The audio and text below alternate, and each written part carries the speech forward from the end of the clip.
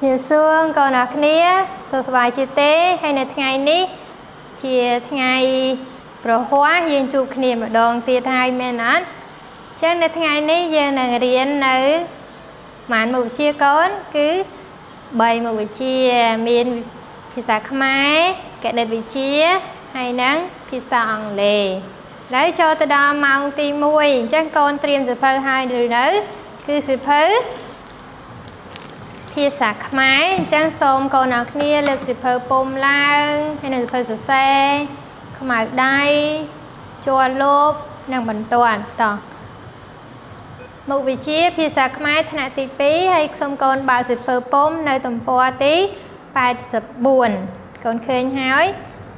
តែអ្នកគ្រូចង់រំលឹកនៅមេរៀនចាស់ខ្លះខ្លះគឺពាក់ព័ន្ធនឹងមេរៀនទី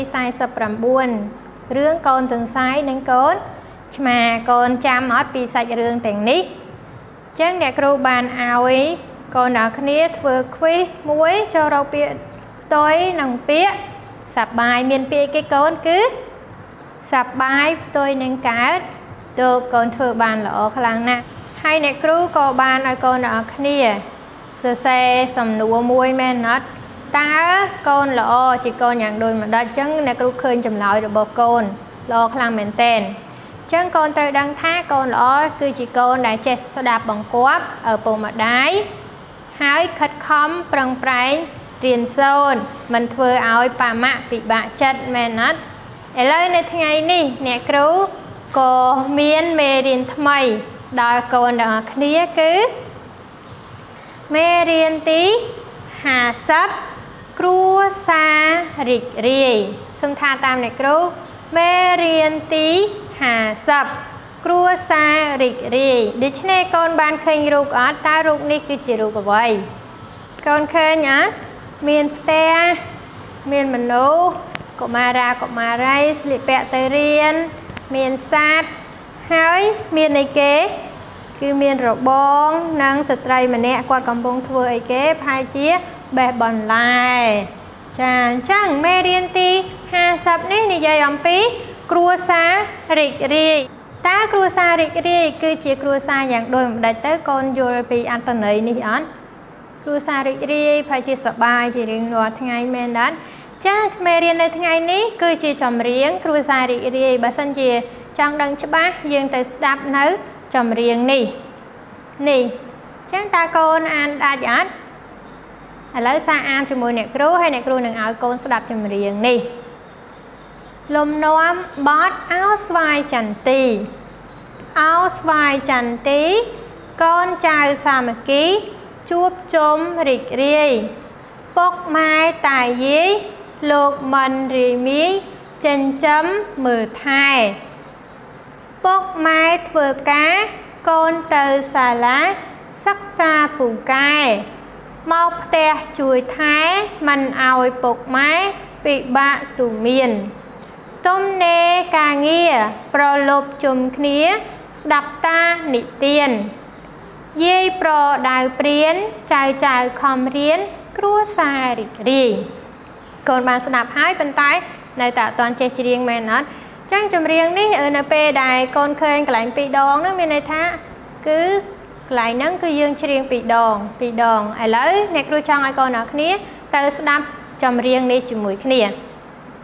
សម្រាប់ថ្នាក់បឋមសិក្សាបទគ្រួសាររីករាយលំនាំបទអោស្វាយចន្ទីអោស្វាយចន្ទីកូនចៅសាមគ្គីជួបជុំរីករាយអោស្វាយចន្ទីកូនចៅសាមគ្គីជួបជុំរីករាយពុកម៉ែតាយាយលោកមិនរាយមេចិញ្ចឹមមើលថែ ពុកម៉ែតា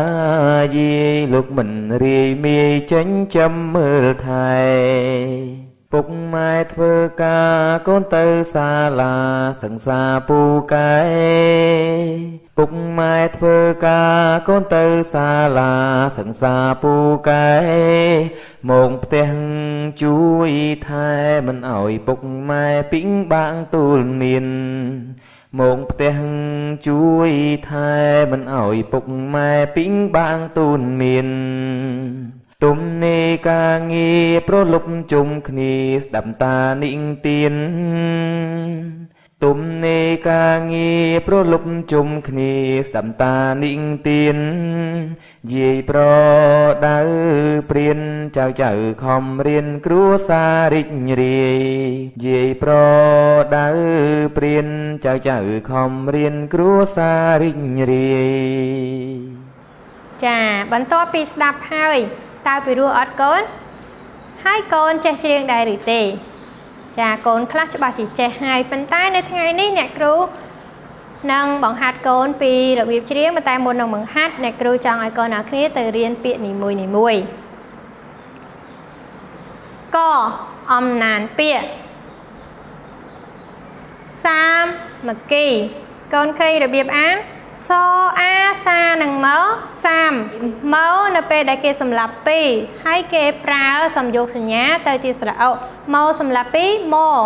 មកសំយោគសញ្ញានឹងកមៈសាមមៈកៅអ៊ីគីយើងអានថាសាមមៈគីសាមមកគីចឹងកូនអានសាមមកគីសាមមកគីចឹងពីនេះអានថាម៉េច សាមគ្គីតោអ៊ូទូនឹងណោទូនមកអ៊ីមាននឹងណោមានអានថាទូនមានតែរបៀបសរសេរបែបនេះតោស្រអ៊ូទូណោជើងមកនឹងណោស្រអ៊ីនឹងណោយើងអានថាទូនមានទូនមានសុំកូនអាន ចអេចេនឹងញោចេញចអើចើនឹងមកចំអានថាចេញចំពាក្យនេះយើងអានថាចេញចំសូមកូនអានសអើសើនឹងកសឹកសអាសាយើងអានថាសឹកសាប៉ុន្តែរបៀបសរសេរសអេសេកជើងសដាក់ស្រៈអាយើងអានថាសឹកសាសឹកសា រោអ៊ីរៀនឹងយោរាយមកអ៊ីមៀនឹងយោមាយអានថារាយមាយបជាងរោប្រប្រអ៊ីព្រាព្រានឹងណោព្រៀនព្រៀនសុំកូនអាន ចាអំបញ្ញបាញ់យើងអានអំពីពាក្យនីមួយនីមួយហើយអ្នកគ្រូសង្ឃឹមថាកូនចេះអានឥឡូវយើងចូលទៅដល់ការបញ្យល់បើសិនជាគ្រាន់តែចេះអានប៉ុន្តែយើងអត់យល់អត្ថន័យគឺវាពិបាកដែរឥឡូវយើងទៅស្ដាប់នៅអត្ថន័យនៃពាក្យនីមួយនីមួយសាមគ្គីថ្នាក់ពាក្យជានាមសេចក្តីព្រមព្រៀងដំណើរស្រស់ស្រួលម្ដងទៀត សាមគ្គីថ្នាក់ពាក្យជានាមសេចក្តីព្រមព្រៀងដំណើរស្រស់ស្រួលទូនមានថ្នាក់ពាក្យជានាមព្រៀនប្រដៅអោបរំណែនាំដងទៀតទូនមានថ្នាក់ពាក្យជានាមព្រៀនប្រដៅអោបរំណែនាំរាយមាយរាយមាយថ្នាក់ ពាក្យជាកិរិយាសព្ទវិសេសចាប់នេះចាប់នោះមិនឈ្មោះត្រង់ណាដងទៀតរាយមាយថ្នាក់ពាក្យជាកិរិយាសព្ទវិសេសចាប់នេះចាប់នោះមិនឈ្មោះត្រង់ណាចិញ្ចឹមចិញ្ចឹមថ្នាក់ពាក្យជាកិរិយាសព្ទគ្រប់គ្រងរក្សាជីវិត បីបាច់រក្សាឲ្យរស់ចិញ្ចឹមថ្នាក់ពាក្យជាកិរិយាសព្ទគ្រប់គ្រងរក្សាជីវិតបីបាច់រក្សាឲ្យរស់សិក្សាថ្នាក់ពាក្យជានាម ការរៀនការទន្ទិញការសូត្រការវឹកហាត់សិក្សាថ្នាក់ពាក្យជានាម ការរៀនការទន្ទិញការ សូត្រការវឹកហាត់ព្រៀនថ្នាក់ពាក្យជាកិរិយាសព្ទបងរៀនព្រៀនប្រដៅឲ្យហាត់រៀនព្រៀនថ្នាក់ពាក្យជាកិរិយាសព្ទបងរៀនព្រានប្រដៅឲ្យហាត់រៀនចាអញ្ចឹងយើងបាន អានហើយនឹងស្គាល់អត្ថន័យនៃពាក្យទាំងអស់នេះហើយអញ្ចឹងអ្នកគ្រូបញ្យល់បញ្ជាក់បន្ថែមជាងការអានពាក្យសាមគ្គីមានន័យថាយើងរួបរวมគ្នាតែមួយធ្វើអ្វីមួយមិនមែនឆ្លោះប្រកែកពាក្យថាសាមគ្គីគឺជាការរួបរวมគ្នាក្នុងការធ្វើអ្វីមួយទូនមានមានន័យថាជាពាក្យដែលសម្រាប់ព្រានប្រដាវឧទាប៉ាម៉ាក់តាយាយទូមានមានន័យថាប៉ាម៉ាក់តាយាយបង្រៀននឹងស្ដីប្រដៅឲ្យកូន រាយមាយមានន័យថាចិត្តរាយមាយមិនប្រកបត្រង់ណាចិត្តស្រឡាញ់នេះផងស្រឡាញ់នោះផងស្រឡាញ់ស្រឡាញ់ទៅទៅស្រឡាញ់ទៅចាប់យកនោះចឹងចិត្តរាយមាយអាចនិយាយបានថាចិត្តសាវាណាចិញ្ចឹមចិញ្ចឹមគឺជាការផ្គត់ផ្គង់ថែរក្សាអ្នកណាគេចិញ្ចឹមបីបាច់កូនគឺជាបាម៉ាក់ដែលផ្គត់ផ្គង់កូនសម្លៀកបំពាក់ចំណីអាហារជាពិសេស ការសិក្សាប្រចាំថ្ងៃរបស់កូននៅផងដែរសិក្សាសិក្សាគឺជាការរៀនសូត្រមែនណាចាព្រៀនព្រៀនគឺជាពាក្យដែលមកពីពាក្យបងរៀនឬព្រៀនប្រដៅដូចគ្នាព្រៀនស្មើនឹងពាក្យបងរៀនឥឡូវកូនយល់នៅអត្ថន័យពាក្យនីមួយមួយហើយដូច្នេះយើងត្រឡប់មកចម្រៀងរបស់កូនអញ្ចឹងអ្នកគ្រូឲ្យកូនទាំងអស់គ្នាអានជាមួយអ្នកគ្រូហើយយើងនឹងច្រៀងទាំងអស់គ្នា លំនាំបទអោស្វាយចន្ទីអោស្វាយចន្ទី កូនចៅសាមគ្គីជួបជុំរីករាយពុកម៉ែតាយាយលោកមិនរាយមាយចិញ្ចឹមមើលថែពុកម៉ែធ្វើការកូនទៅសាលាសិក្សាពូកែមកផ្ទះជួយថែ មិនឲ្យពុកម៉ែពិបាកទូនមានទំនេរការងារប្រលប់ជុំគ្នា ស្ដាប់តានិទានយាយប្រដៅព្រៀនចៅចៅខំរៀនគ្រួសាររីករាយឥឡូវកូនអរគ្នាទៅច្រៀងទាំងអស់គ្នាជាមួយអ្នកគ្រូដោយយកចិត្តទុកដាក់នៅការស្ដាប់ចម្រៀងនេះជាមួយគ្នាមេរៀនទី50គ្រួសាររីករាយចម្រៀង លំនាំបទអោស្វាយចន្ទី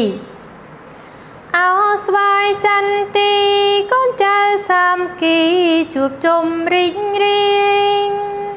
ពងម៉ែតាយេលោកមិនរាយមានចិញ្ចឹមមើលថែអោស្វាយចន្ទីកូនចៅសាមគ្គីជួបជុំរីករាយពងម៉ែតាយេ លោកមិនរាយមានចិញ្ចឹមមើលថែពុកម៉ែធ្វើការកូនទៅសាលាសិក្សាពូកែ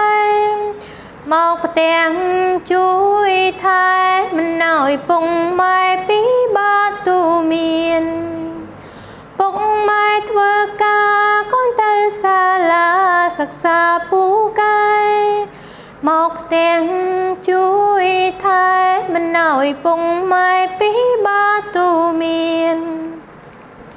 ទំនេរការងារប្រលប់ជុំគ្នាស្ដាប់តានីទានយាយប្រដៅព្រៀនចៅចៅខំរៀនគ្រួសាររីករាយទំនេរការងារប្រលប់ជុំគ្នាស្ដាប់តានីទាន យាយប្រដៅ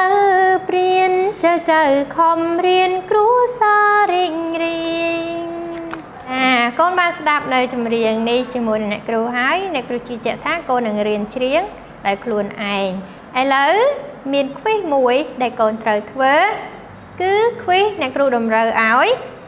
ចូលប្អូនច្រៀងចម្រៀង គ្រួសាររីករាយដោយថតជាវីដេអូផ្ញើចូលក្នុងក្រុមមានន័យថាឲ្យកូនច្រៀងហើយឲ្យប៉ាម៉ាក់ថតឲ្យហើយផ្ញើចូលក្នុងក្រុមអ្នកគ្រូនឹងឲ្យវត្តមានកូនចាហើយក៏មានកិច្ចការផ្ទះដែរកិច្ចការផ្ទះគឺជាសំណួរចឹងសូមកូនឆ្លើយសំណួរទាំង3នេះនៅក្នុងសៀវភៅពុំទំព័រទី85មានចឹងត្រង់ចំណុចសំណួរទី1 តើនរណាខ្លះជាអ្នកចិញ្ចឹមគ្រួសារទី2តើនរណាជាអ្នកនិទានរឿងទី3តើយាយប្រដៅចៅចៅឲ្យធ្វើអ្វីអញ្ចឹងសូមកូនឆ្លើយ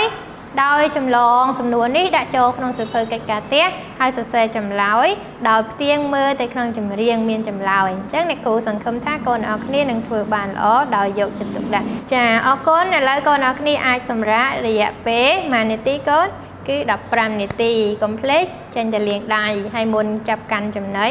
សូមសម្អាតដៃឲ្យស្អាតណាចាអរគុណច្រើន